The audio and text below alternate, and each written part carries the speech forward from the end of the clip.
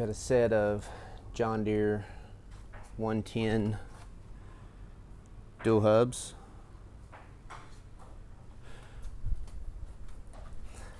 Good shape, all the bolts are there. Comes as a set of two. We also do convert these to 92 millimeter or 86 millimeter when we have the wedges.